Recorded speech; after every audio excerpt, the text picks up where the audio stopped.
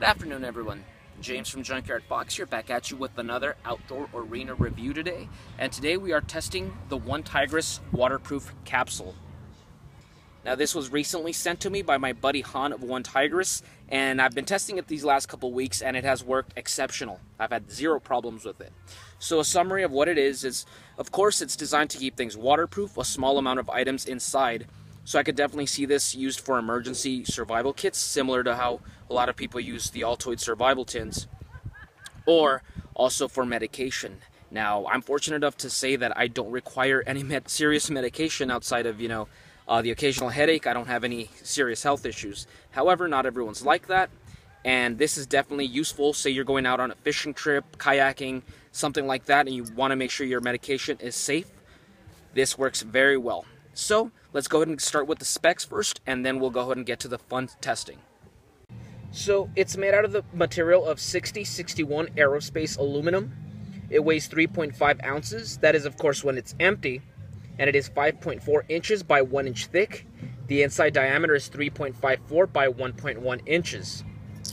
Okay, now it really just came by itself with some extra rubber stoppers for the top just to demonstrate this rubber band around here to make sure that no fluid leaks in here.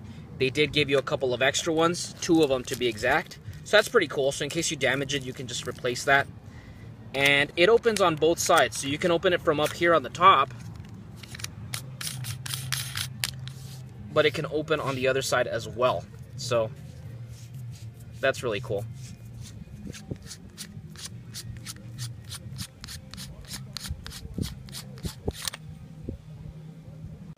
Okay, so let's get the simulation underway. So, I said earlier that this could be useful for a small emergency kit with the bare essentials as well as medication. So, let's go do a little bit of mix of both.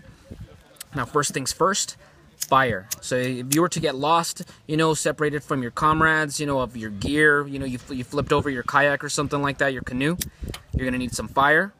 A very quick way to get a fire going is with the lighter, as well as the lighter is very susceptible to the elements, especially water, so it's going to be a good test to see how waterproof this is. Not only a lighter, but we need some kind of quick tinder, so a cotton ball would work very well, not only for just tinder, but first aid in case you need a you know quick patch up.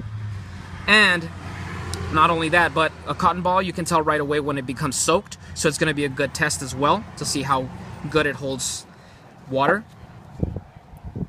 And last but not least, we got medication. Now this is just ibuprofen.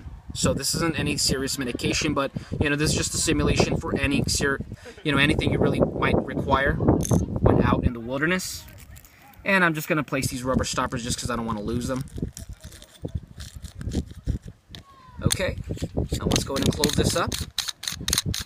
And let's get ready to go ahead and have some fun. Okay, so testing time. Now I attached a carabiner to it, and I'm gonna attach it to my belt loop, just so it's always attached to me, so if I lose my pack, anything like that, it's always on my person. Okay, so without further ado, let's go ahead and simulate some bad kayaking, canoeing situation. So, let's go and get started.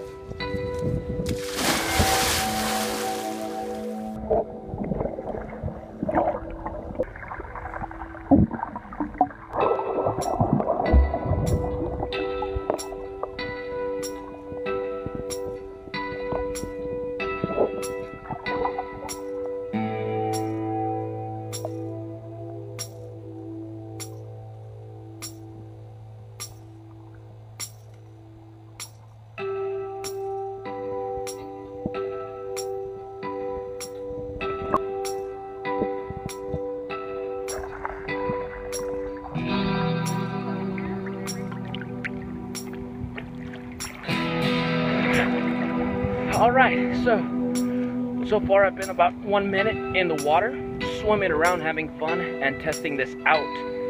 Just gonna swim a little longer, just to simulate an awesome diving experience, and then we'll test out the contents.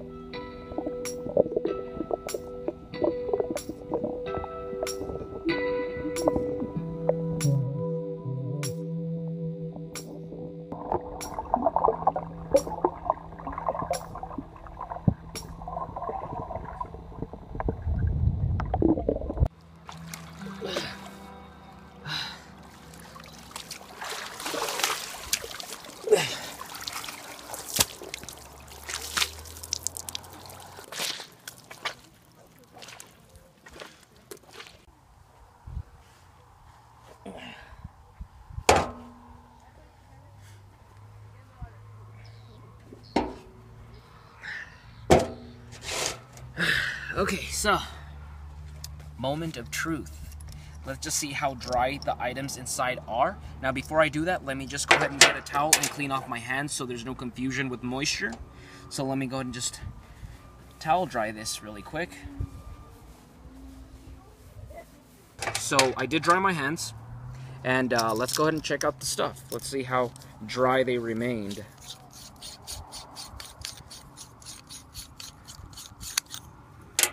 Okay, so first things first, I have the little baggie that has the little stoppers. This is nice and dry. How about the lighter? Now, everyone knows that when a lighter gets wet, it's not going to work for at least momentarily. Works pretty good. Cotton ball is nice and dry. And the medication is nice and dry. They're not soggy. It's not, there's no discoloration. So everything remained nice and dry in here. Now, I did stay about 10 minutes underwater. I tried to swim around, just cause a lot of commotion, see if that would somehow, you know, cause a break in the seal.